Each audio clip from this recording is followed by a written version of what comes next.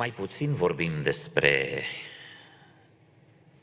Caleb, deși avem în biserică uh, câțiva de Caleb, Caleb, un nume foarte frumos. Dacă Iosua stă foarte multă vreme în umbra lui Moise, însă pe urmă devine marele general care conduce poporul Israel în cucerirea țării Cananului, Caleb rămâne în umbra lui Iosua, lui se dedică mult mai puțin din cartea lui Iosua și din Pentateuch, însă se merită să vorbim despre Caleb. În câteva rânduri, în pasajele pe care le-am citit din numeri 14 și Iosua 14, scrie așa, în numeri 14 cu 24, a urmat în totul calea mea. Aici Dumnezeu vorbește. A urmat în totul calea mea. Mulți oameni au umblat în calea Domnului și găsim despre ei pe paginile Scripturilor cu un pic de amendament.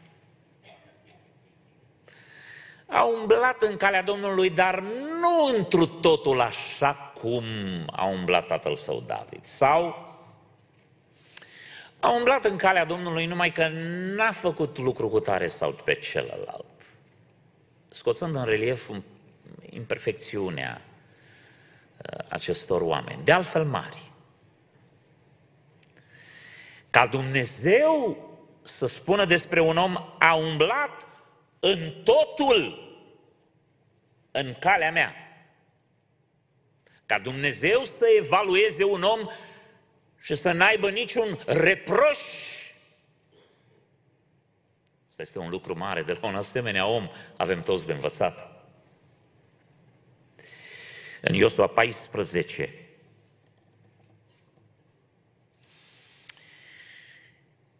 Nu numai că Dumnezeu declară asta despre Caleb, Caleb declară lucrul ăsta despre el însuși. Eu am urmat în totul calea Domnului Dumnezeului meu. Dumnezeu a declarat despre Caleb acest lucru, Caleb a declarat despre el însuși acest lucru și noi declarăm multe lucruri despre noi. Însă ce declară alții sau ce declară Dumnezeu în dreptul nostru. Și apoi în Iosua 14 cu 14, istoria, posteritatea Poporul declară despre Caleb. Urmase în totul calea Domnului Dumnezeului lui Israel. Dumnezeu i-a făcut o promisiune extraordinară lui Caleb. Atunci când iscoadele au intrat în țara Canaan, au ajuns în zonele ei întărite și locuite de fiii lui Anac, Anachimi, care erau uriași. Zece dintre scoade au spus, suntem pierduți. Noi suntem ca niște lăcuste în fața lor. Ăștia ne vor strivi și ne vor mânca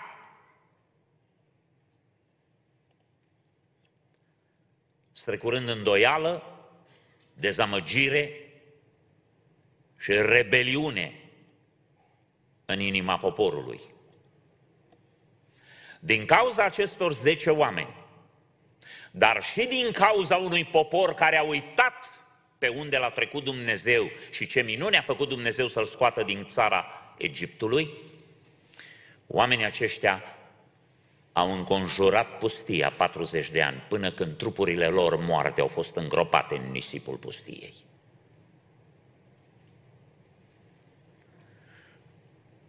cei doi oameni care au ajuns în țara Canaan și care au moștenit partea lor în țara Canaan au fost Iosua și Caleb. Dar Caleb primește ca moștenire un teritoriu periculos. Un teritoriu periculos stăpânit de fiul lui Anac, de Anachimi. Și la vârsta de 85 de ani, omul lui Dumnezeu Caleb știe promisiunea Domnului prin jurământul lui Moise, țara în care a călcat piciorul tău va fi moștenirea ta. Și în versetul 12 din Iosua 14 spune, dă-mi dar muntele acesta. Despre care a vorbit Domnul pe vremea aceea. Un munte care este greu de urcat, mai ales la 85 de ani. Dar un munte pe care nu-l vrea nimeni. Dă muntele acesta despre care a vorbit Domnul pe vremea aceea, căci ai auzit atunci că acolo sunt anachim și că sunt cetăți mari și întărite. Dăm partea cea mai grea a țării.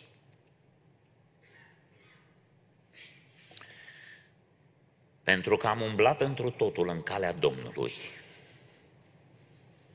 și pentru că l-am respectat pe Dumnezeu și am umblat în calea Lui, Dumnezeu își va respecta și își va onora promisiunea. De fapt, asta este tema de astăzi, nu? Vorbim despre condiții pentru împlinirea făgăduințelor. Astăzi este umblarea pe calea Domnului. Dacă acest om n-ar fi umblat într totul pe calea Domnului, s-ar fi întovărășit cu mulțimea care acum zăcea în deșert.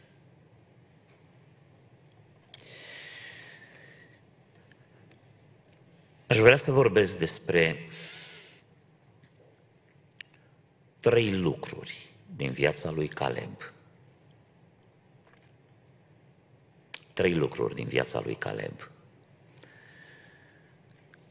care îi asigură și îi demonstrează, îi dovedesc umblarea întru totul pe calea lui Dumnezeu.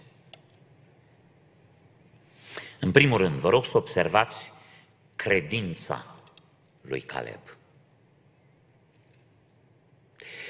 În numele 14 cu 24 Dumnezeu spune, iar pentru că robul meu Caleb a fost însuflețit de un alt duh.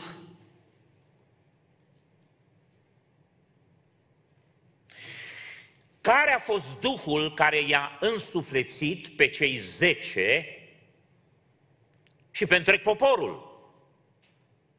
Un duh de necredință.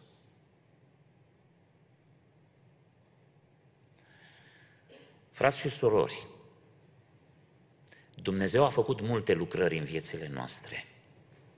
Dumnezeu ne-a izbăvit de multe ori. Dumnezeu a făcut minuni în dreptul nostru. Nu avem dreptul la necredință. Necredința este o răzvrătire împotriva lui Dumnezeu. Este o stare de rebeliune deschisă. Va să zică, Dumnezeu a revărsat plăgi nimicitoare peste țara Egiptului, i-a determinat pe egipteni mai mult decât să le dea drumul să-i gonească, și când s-au răzgândit, i-a îngropat în Marea Roșie, în vreme ce Israelul a trecut pe uscat.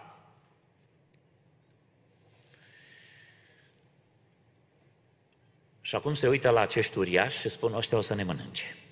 Țara este invincibilă de necucerit. Aveau dreptul la necredință? Să te uiți la peretele de apă imens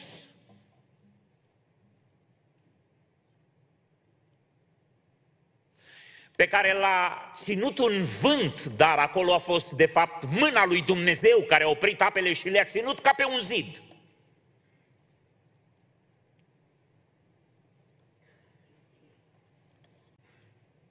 Să vezi cum șuvoaiele nu pot să treacă de mâna lui Dumnezeu. Să vezi o armată puternică, cea mai puternică a vremii, imperiul cel mai puternic din vremea aceea că nu se poate apropia de tine pentru că este un nor ziua și noaptea un stâlp de foc.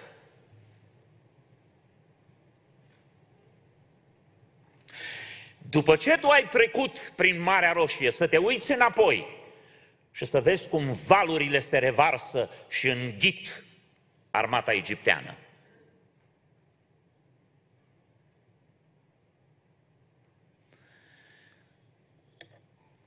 Să te uiți în fiecare dimineață și să vezi că a căzut mâncare din cer.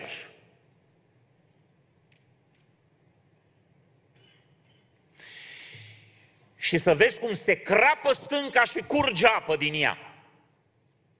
Ca să aibă întregul popor, să bea din abundență.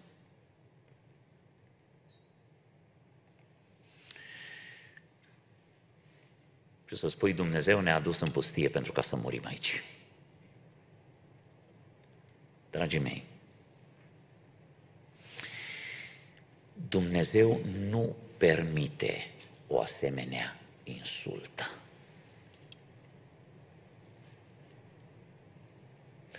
Foarte mulți se izbesc cu capul de pasajele din Evrei, care sunt extrem de dure și intransigente pentru cei ce se leapădă de credință pentru cei care îmbrățișează păcatul în mod voit, intenționat, răzvrătindu-se împotriva legii lui Dumnezeu. Și te uiți și spui, dar cum să nu mai le dea Dumnezeu șansă? Cum să spună Dumnezeu, e cu neputință? Cum să spună Dumnezeu, pentru ăștia nu mai rămâne decât așteptarea înfricoșătoare a judecății lui Dumnezeu? Pentru că tot acolo spune, pentru cei care au gustat din puterile veacului viitor. Iată de ce spune cuvântul lui Dumnezeu, aveți foarte mare grijă să nu urmați pilda lor. Ei care au fost botezați pentru Moise în mare, pentru care Dumnezeu a făcut minuni, dar pe care Dumnezeu i-a pedepsit și i-a lepădat și i-a nimicit. În fața unui duh de răzvrătire, ca rezultat al necredinței,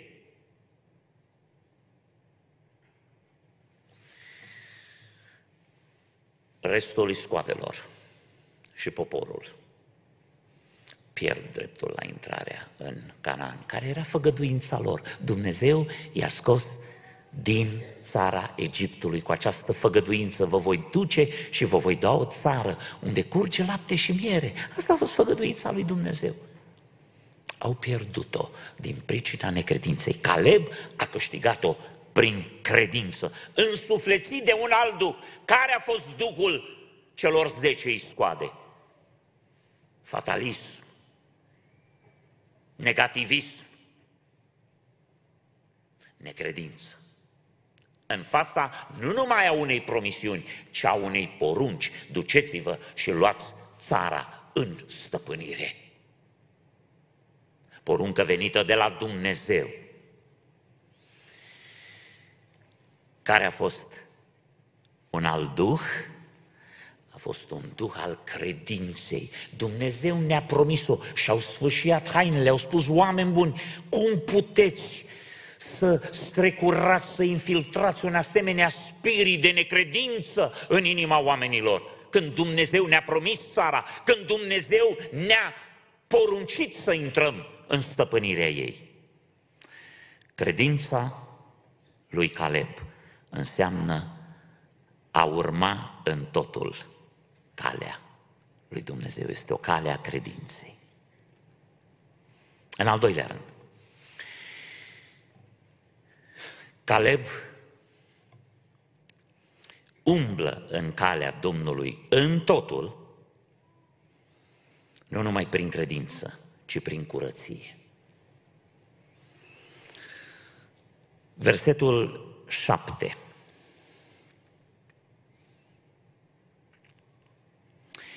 Eram în vârstă de 40 de ani când m-a trimis Moise, robul Domnului din Cadeș Barnea, ca să-i scodesc țara și am adus știri așa cum îmi spunea inima mea curată.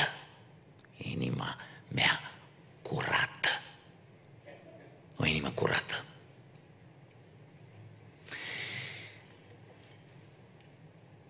Știți care a fost problema majorității poporului Israel?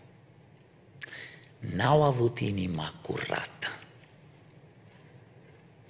Unul dintre cei mai mari dușmani ai credinței este necurăția inimii, un cuget întinat, un cuget murdar. Știți că tot apostolul Pavel spune în Corinteni că poporul a șezut să mănânce și pe urmă s-a sculat să joace. Cum a ajuns Moise pe munte și a stat un pic mai mult, au pus presiune pe Aron și au spus, fă-ne un Dumnezeu să-l vedem. Ca să fim și noi ca neamurile celelalte. Pentru că n-au avut o inimă curată. Într-o inimă întinată a intrat duhul de răzvrătire a lui Core, Datan și Abiram pe care i-a înghițit pământul. Într-o inimă întinată și păcătoasă a intrat duhul de necredință a celor zece iscoade care l-au necinstit pe Dumnezeu spunând că n-au nicio șansă să intre în țara promisă. Dragii mei, nu uitați să nu-L credeți pe Dumnezeu un Dumnezeu rău care abia așteaptă să lovească, să dărâme, să distrugă, să nimicească, să nu credeți pe Dumnezeu așa. Dumnezeu a avut multă răbdare cu ei. Însă poporul acesta i-a băgat cu asemenea obrăznicie degetele în ochi. Când îndurarea și răbdarea lui Dumnezeu au ajuns la capăt așa după cum vor ajunge la capăt și pentru lumea aceasta. Și așa cum vor ajunge la capăt și pentru unii credincioși care își zic credincioși și sunt necredincioși. Pentru că ceea ce dovedește curăția de inima lui Caleb este faptul că credința nu e doar un cuvânt. Credință. Cu credință se laudă și ateii. Ateii ei zic că nu cred că există Dumnezeu, ei cred că nu există Dumnezeu. Și au nevoie de mai mare credință decât noi ca să-și justifice nebunia. Știți cât de ușor este să te uiți la universul acesta, ne uităm unii la alții să spunem, Dumnezeu ne-a făcut. Cel mai simplu lucru. Ca să spui că nu există Dumnezeu, este o dovadă de mare răzvrătire. Și Apostolul Pavel în Roman, capitolul 1, îi prinde, îi prinde, îi prinde, îi prinde. I-a prins. I-a prins. Și le-a spus, voi năbușiți adevărul în nelegiuire, voi de dragul păcatului și nelegiuirii îl respingeți pe Dumnezeu. Nu că nu-l vedeți,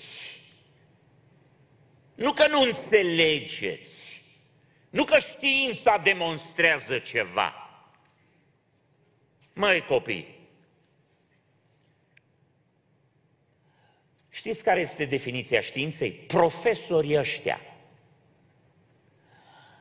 care vor să vă înnebunească, care au mandat să vă înnebunească. E o conspirație ca să vă înnebunească și să vă prostească. Ăștia vă dau definiția științei și spun ce este știința. Se bazează pe observație. Observation. Și pe urmă vin la voi cu teorii care n-au fost niciodată observate și nu pot niciodată să fie demonstrate. Deci pentru mine, să vă spun foarte sincer, cea mai mare prostie este să pot să cred că o maimuță a devenit încet, încetul cu încetul om. Uite așa. Păi măi, maimuța aia trebuie să fi trăit câteva miliarde de ani. De a murit sărac, a venit alta după ea. Ce vor ei să mă facă pe mine să cred este că maimuța tată i-a spus la maimuța băiat, băi, fii atent aici, vezi că eu am o mică modificare genetică și ți-o dau ție moștenire. Nu te lăsa baltă, dă mai departe, mai, progresează un pic. Și din generație în generație, maimuța la maimuță a comunicat, hai, încă un pic, mai un pas, mai un pas, că noi trebuie să devenim oameni. Că în capul la o maimuță a apărut un om și au zis, vreau să fiu așa. Marea problemă e, domnule, n-au comunicat între ele că toate maimuțele ar fi vrut să devină oameni. Toți câinii ar fi vrut să devină oameni. Toate reptilele ar fi vrut să devină oameni. Ar fost pământul plin numai de oameni. N-am mai fi avut nici găini de mâncat. Pe cum nu i-ar conveni să devină om? Ascultați, este o nebunie. Și Biblia spune, s-au fălit că sunt înțelepți, dar au nebunit. Și când te uiți la nebunia asta, încep să te frămânți și spui, bă, dar ce, ce cu oamenii ăștia, mă? De ce vor să fie așa nebuni? De ce vor să dea în prostie? Barta e omul ce are două facultăți, ce are doctorate, are, are. Și înșiră meritele. Și mă vine și îmi spune că Universul a apărut în urma unei explozii foarte puternice. Bine, accept și explozia dacă cineva îmi spune că Dumnezeu a apăsat pe buton și că pe urmă a luat fiecare particolă și le-a aranjat și le-a trimis acolo unde a trebuit. Da, da, dați și explozie. Dar ca să-L scos pe Creator, să-L scos pe Dumnezeu din ecuație și să spui că toate sunt la voia întâmplării, dar trezește-te, mă, omule, că ești în toată firea, te lauzi cu școli, te lauzi cu capacități ne de te faci de râs în fața mea. Și Pavel i-a prins și le-a spus, de dragul nelegiuirii, de dragul păcatului, lumea asta nu are nicio pro- problemă să-L accepte pe Dumnezeu și să creadă. Numai să-i lase în pace când e vorba de păcat și să apară din senin când au ei nevoie de el. Un Dumnezeu valet, un Dumnezeu subordonat. Inima poporului de aia n-au crescut, pentru că era îndreptată spre nelegiuire. Nelegiuirea produce necredință, pentru că simți nevoia să întorci spatele lui Dumnezeu. Decât să accepti un Dumnezeu care spune ce ai voie să faci și ce n-ai voie să faci, preferi să alegi necredința. De aici li s-a tras. În vreme ce Iosua și Caleb, Caleb spune, am adus știri așa cum îmi spunea inima mea curată. O inimă curată e o inimă credincioasă. Credința se leagă de curăție. Nu te lăuda cu credința ta dacă credința ta nu-ți schimbă viața. Una din marile probleme pe care o avem, fratele Mike Big vorbea mai devreme despre trezirile astea spirituale. Ele profesează o anum, într-o anumită zonă o idee de credință. Dar credință în cine? Și credință în ce? Și credință de ce?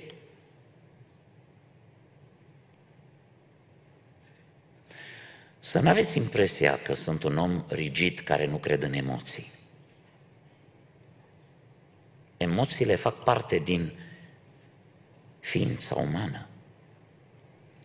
Emoțiile sunt necesare. Când ne bucurăm, sunt necesare emoțiile. Când ne comunicăm iubirea, emoțiile sunt necesare. Când plângem despărțirea de cei dragi, emoțiile sunt necesare. Pentru ca să ne pocăim, emoțiile sunt necesare.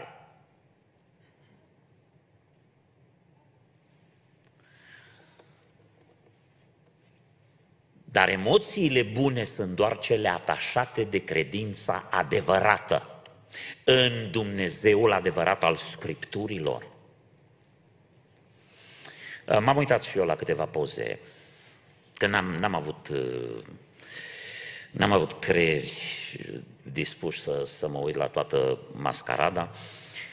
Uh, surorilor, iertați-mă, voi sunteți foarte importante pentru noi, noi vă iubim foarte mult. Uite, întrebați pe bărbați dacă nu, le iubim foarte mult. Dar n-ați fost făcute ca să fiți păstori și să vă puneți mâinile peste cineva. Nu e treaba voastră asta. Mie când îmi arăți o trezire spirituală unde văd femeile că își pun mâinile peste uh, oameni, s-a terminat. Pentru că vine în flagrant delict, în contradicție totală cu scripturile. Și gata. Surorile au un rol important în casa lui Dumnezeu și știți că am avut seminarii, am avut conferințe și mulțumim Domnului pentru voi. Dar trebuie să existe niște limite. Atunci când oamenii care sunt în fruntea unei treziri nu sunt oameni cu o inimă curată înaintea lui Dumnezeu, produc idolatrie, nu închinare. Și în vechime a fost un vițel de aur. Acum nu mai face nimeni un vițel de aur și nu zice veniți și vă închinați la el. Vițelul de aur de atunci este un stil de viață păcătos pe care îl îmbrățișează și cu care se laudă. Și în al treilea rând, și închei ca să dau din nou loc corului de tineri să cânte spre slava Domnului. Nu numai că acest mare bărbat, Caleb, este însuflețit de un alt duh, un duh de credință în mijlocul unui popor de necredincioși și de răzvrătiți. Nu numai că are o inimă curată în mijlocul unui popor cu inima îndreptată spre nelegiuire, dar este un om plin de curaj. Caleb este un om curajos. Nu numai credincios, curat, dar și curajos. În vreme ce restul tremură. De ce e curajos?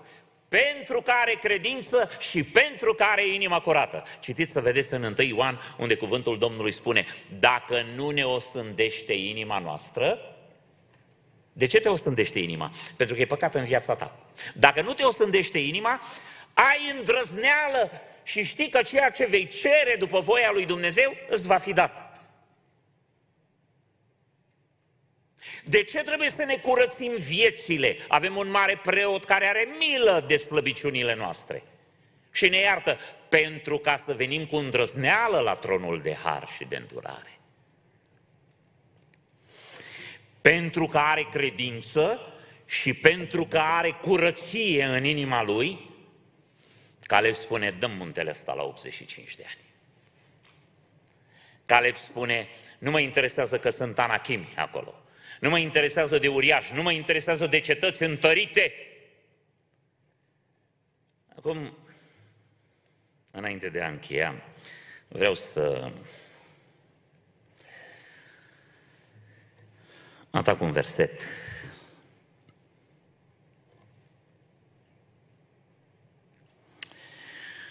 Um, versetul 12 din Iosua 14. Versetul 12 din Iosua 14. Ascultați și în limba română și în limba engleză. Ultima propoziție. Domnul va fi poate cu mine și îi voi izgoni cum a spus Domnul. Și în limba engleză. It may be that the Lord will be with me and I shall be able, able to drive them out as the Lord said. Aici cuvântul ăsta pare un cuvânt al îndoielii,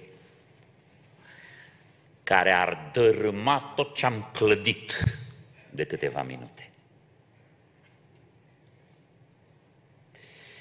Însă este un, un cuvânt foarte important care demonstrează umilința lui Iosua. Când Iosua spune, it may be, poate că Domnul îi va da mâinile mele. Iosua nu se îndoiește, Iosua nu e fricos, Iosua nu are ezitări, pentru că deja a spus, dă muntele, mă duc și izgonesc. Ceea ce declară Iosua este, așa cum am umblat în calea Domnului, în mod ireproșabil, a declarat Dumnezeu asta despre el, a declarat-o el despre el și a declarat, au declarat-o ceilalți despre el. Istoria, națiunea. Iosua nu este arogant să creadă că el va câștiga biruința, ci numai Domnul dacă Domnul vine cu el. Ceea ce transmite Iosua este voi câștiga, voi învinge, voi lua țara în stăpânire, muntele va fi al meu, dacă Dumnezeu face lucrul acesta. Știți că există, știu că tema de la Winterfest a fost Overcomers, right? Înainte de asta spune, cine crede că stă în picioare, să ia seama să nu cadă. So, young people, are you doubting your victory? Is that doubting your victory? No. You're insulting God if He says you're going to be an overcomer and you say, I might fail. I might sin. I might fall. No. Humility is not accepting failure. Humility is accepting that you are fallible, which is a huge, huge difference of nuance. I will not fall. I will not sin. I will overcome temptation. I will defeat sin. I will overcome the sons of Anak. I don't care that they are giants.